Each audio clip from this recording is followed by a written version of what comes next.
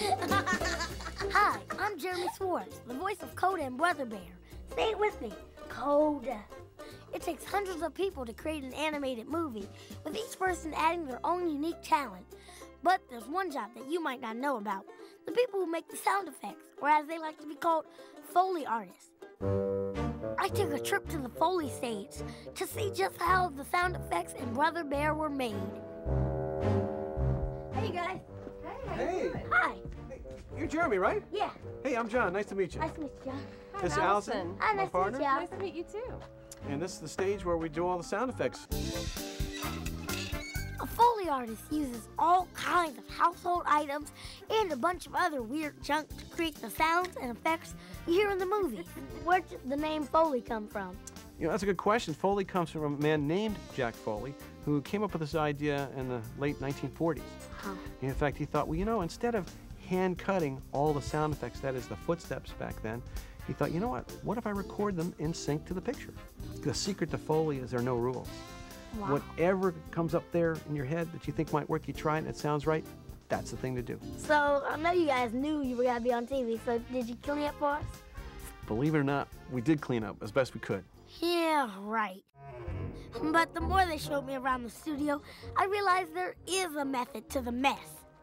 Okay, Jeremy, you know, now what we're going to do is we're going to do a little scene here where Koda pops out and you're going to do his footsteps. Oh, okay, O- okay. Okay? Yeah. So what you want to do is you want to, when you see his feet move, you take those special gloves and just, that's it. Just like that. You ready? Yeah, I'm ready. Okay, we're going to tell Mary Jo to roll, so you tell her when you're ready. Roll it, Mary Jo. Okay, here we go.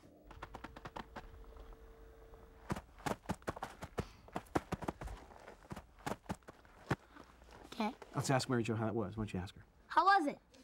All right, eh? Cool. Give me five, man. That's it. This piece of an old chair An old chair. And I know it's a piece of bamboo, but you know what? If you and I get down here and do this, it's going to creak really nicely. Okay? So when Kenai, as the bear, is stuck up in the tree and going back and forth, that'll give us a good creak. Okay, let's do it. We're ready, Mary Jo.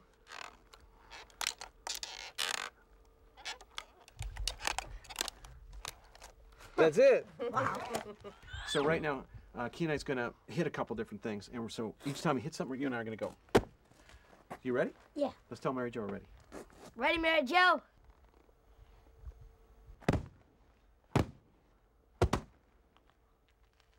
That was it.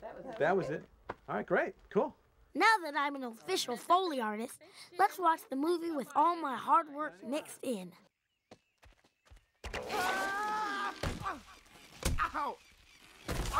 Oh, good! How you oh. doing? Guess you didn't see the trap, huh? I saw it from a mile away.